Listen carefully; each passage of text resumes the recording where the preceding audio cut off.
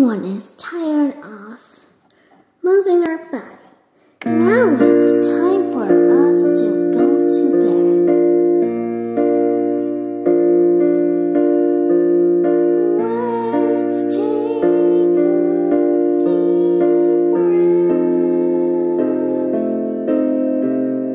Let's take a deep breath.